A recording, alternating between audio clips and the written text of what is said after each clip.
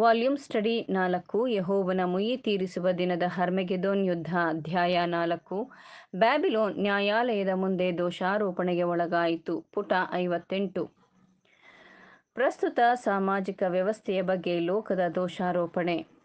ಕ್ರೈಸ್ತ ಪ್ರಪಂಚದ ಸಾಮಾಜಿಕ ವ್ಯವಸ್ಥೆಯು ಸಹ ಪರಿವೀಕ್ಷಣೆಯಲ್ಲಿದೆ. ಅದರ ಹಣಕಾಸಿನ ಕಾಯಿದೆಗಳು, ಆರ್ಥಿಕ ರೂಪರೇಖೆಗಳು ಮತ್ತು ಸಂಸ್ಥೆಗಳು ಮತ್ತು ಅವುಗಳ ಮೂಲಕವಾದ ಬೆಳವಣಿಗೆಯು ಅದರ ಸ್ವಾರ್ಥವಾದ ವ್ಯಾಪಾರದ ಕಾರ್ಯನೀತಿ, ಸಂಪತ್ತಿನ ಮೇಲೆ ಮುಖ್ಯವಾಗಿ ನಿರ್ಭರಗೊಂಡ ವರ್ಗ ಭಿನ್ನತೆಗಳು ಎಲ್ಲದರ ಜೊತೆಗೆ ಇದು ಮನುಷ್ಯನ ಜನಸಾಮಾನ್ಯರಿಗೆ ಅನ್ಯಾಯ ಮತ್ತು ಸಂಕಟವನ್ನು ಸೂಚಿಸುತ್ತದೆ.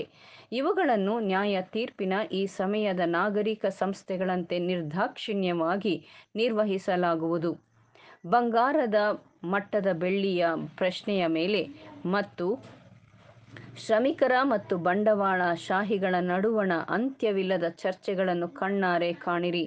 ಏರುತ್ತಿರುವ ಗಾಳಿಯ ಅಡಿಯಲ್ಲಿ ಸಮುದ್ರದ ಅಲೆಗಳು ಏರಿದಂತೆ ಪ್ರಸ್ತುತ ಸಾಮಾಜಿಕ ವ್ಯವಸ್ಥೆಯ ವಿರುದ್ಧ ಅಸಂಖ್ಯಾತ ಧ್ವನಿಗಳು ಸಂಘಟಿತ ಗೊಣಗಾಟಗಳನ್ನು ಧ್ವನಿಸುತ್ತದೆ.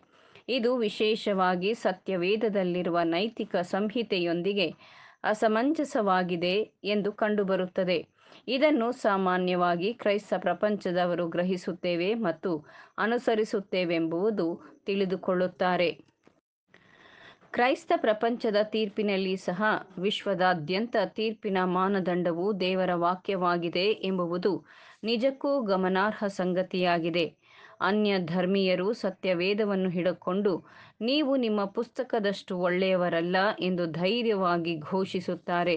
ಅವರು ಅದರ ಆಶೀರ್ವದಿತ ಕ್ರಿಸ್ತನನ್ನು ಸೂಚಿಸಿ, ನೀವು ನಿಮ್ಮ ಮಾದರಿಯನ್ನು ಅನುಸರಿಸುತ್ತಿಲ್ಲ ಎಂದು ಹೇಳುತ್ತಾರೆ. ಮತ್ತು ಕ್ರೈಸ್ತ ಪ್ರಪಂಚದ ಧರ್ಮಶಾಸ್ತ್ರದ ಸಂಸ್ಥೆಗಳು ನೀತಿ ಮತ್ತು ಸಾಮಾನ್ಯ ಮಾರ್ಗವನ್ನು ಅಳೆಯಲು ಅನ್ಯ ಧರ್ಮೀಯರು ಮತ್ತು ಕ್ರೈಸ್ತ ಪ್ರಪಂಚದ ಜನ ಸಮೂಹದವರು ಇಬ್ಬರೂ ಸುವರ್ಣ ಕಾನೂನು ಮತ್ತು ಪ್ರೀತಿಯ ನಿಯಮವನ್ನು ತೆಗೆದುಕೊಳ್ಳುತ್ತಾರೆ. ಎಲ್ಲರೂ ಸಮಾನವಾಗಿ ಆಕೆಯ ಹಬ್ಬದ ಗೋಡೆಗಳ ಮೇಲೆ, ನೀನು ತಕ್ಕಡಿಯಲ್ಲಿ ತೂಗಲ್ಪಟ್ಟು ಕಡಿಮೆಯಾಗಿ ಕಂಡು ಬಂದಿದ್ದಿ ಎಂಬ ವಿಚಿತ್ರವಾದ ಕೈಬರಹದ ಸತ್ಯಕ್ಕೆ ಸಾಕ್ಷಿಯಾಗುತ್ತಾರೆ. ಪ್ರಸ್ತುತ ಸಾಮಾಜಿಕ ವ್ಯವಸ್ಥೆಯ ಬಗ್ಗೆ ಲೋಕದ ಸಾಕ್ಷಿಯು ಎಲ್ಲ ಕಡೆಗಳಲ್ಲಿಯೂ, ಎಲ್ಲ ದೇಶಗಳಲ್ಲಿಯೂ ಕೇಳಿಬರುತ್ತಿದೆ.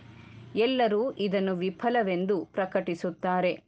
ವಿರೋಧತೆಯು ಹೆಚ್ಚು ಸಕ್ರಿಯವಾಗಿದೆ ಮತ್ತು ಪ್ರಪಂಚದಾದ್ಯಂತ ಎಚ್ಚರಿಕೆಯನ್ನು ಹರಡುತ್ತಿದೆ.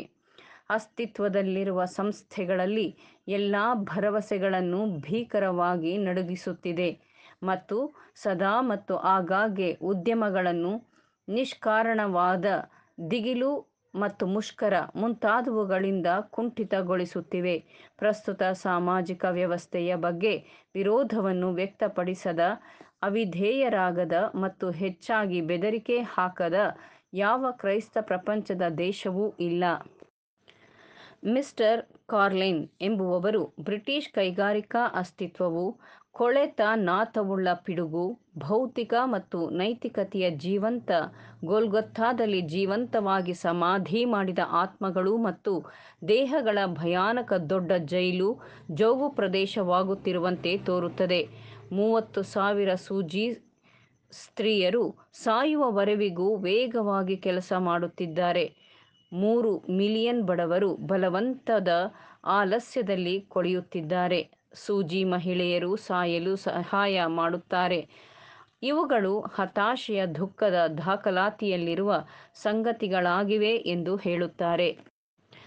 ದಿ ಯಂಗ್ ಮ್ಯಾನ್ ಎಂಬ ಮತ್ತೊಂದು ಪತ್ರಿಕೆಯಿಂದ ನಾವು ಕೆಳಗಣ ಶಿರೋನಾಮದಿಂದ ಕರೆಯಲ್ಪಡುವ ಜಗತ್ತು ಉತ್ತಮವಾಗಿ ಸಾಗುತ್ತಿದೆಯೋ ಎಂಬ ಬರಹವನ್ನು ಆಯ್ದುಕೊಂಡಿದ್ದೇವೆ.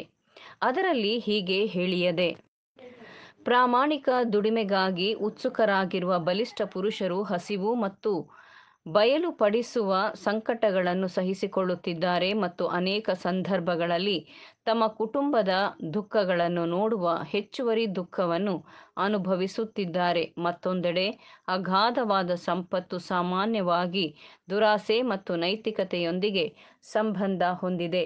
ಬಡವರು ಅಂಗು ಅಂಗುಲಂಗುಲವಾಗಿ ಹಸಿವಿನಿಂದ ಬಳಲುತ್ತಿದ್ದಾರೆ. ಶ್ರೀಮಂತರು ಹೆಚ್ಚಾಗಿ ತಮ್ಮ ಸಹೋದರರ ಅಗತ್ಯತೆಗಳನ್ನು ನಿರ್ಲಕ್ಷ ನಿರ್ಲಕ್ಷಿಸುತ್ತಾರೆ ಮತ್ತು ಬಡ ಲಾಜರನು ಅನಾನುಕೂಲದಲ್ಲಿ ಪ್ರಮುಖನಾಗಬಾರದು ಎಂದು ಮಾತ್ರ ಕೋರುತ್ತಾರೆ.